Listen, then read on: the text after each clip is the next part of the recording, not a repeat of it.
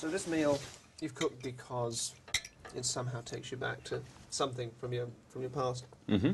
We've been chatting in the kitchen, but I have told you to be very careful not to give me any clues, and you, Oh, haven't, yes. you haven't told me anything Absolutely about what that is.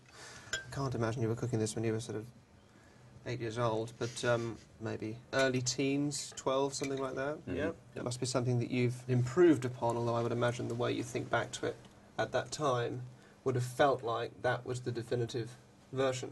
Another really important question I want to ask you um, is can I now eat here for free for the rest of my life? we'll sort something out. No pressure, but obviously it would, you know, just be a very nice gesture. Um, that's interesting, even then, just in the way you laughed. Uh, this is someone else's house, I think, and this is an easy, fun event. How clearly can you picture that environment that you were Very in at the time? The smell, the, the, The smell, yeah, and of course it is those smells that really sort of take the us back. The smell of the shallot, the saffron, and so on. It's very, very vivid. will you do me a favour? Will you close your eyes and just just smell from this food, particularly the saffron?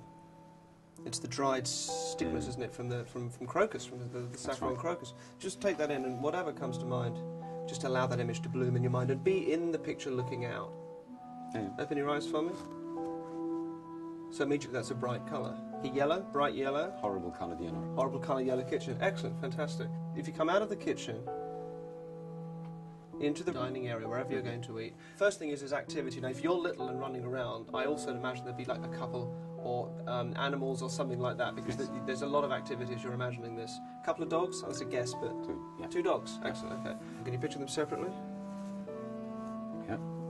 So there's one light and one dark. Yes. You've got the light one on that side and the dark one on that side. As you Yes. picture them, that's interesting. You see the Yes, light one there and the dark much, one there. Okay. Can you remember their names? Oh, go Or what type of... You can? Absolutely, of course. All right. In your mind, just say... Just say the names to yourself. N- n- nothing out loud, but just, just say the names to yourself. Just stand up for a second. Oh, sorry. All right. These are two dogs. Those names do connect with you. I don't know why. The first animal, some sort of golden retriever or something like that, I guess.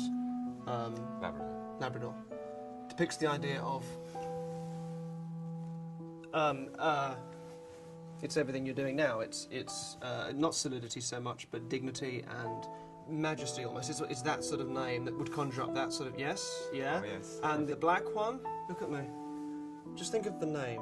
Can you say it yourself? Can you pick out a letter in the middle of the name somewhere just to start me off with a letter? Thank you. You flickered a little bit there. Look at me. Just think of that letter and say it to me now as if you were calling the dog.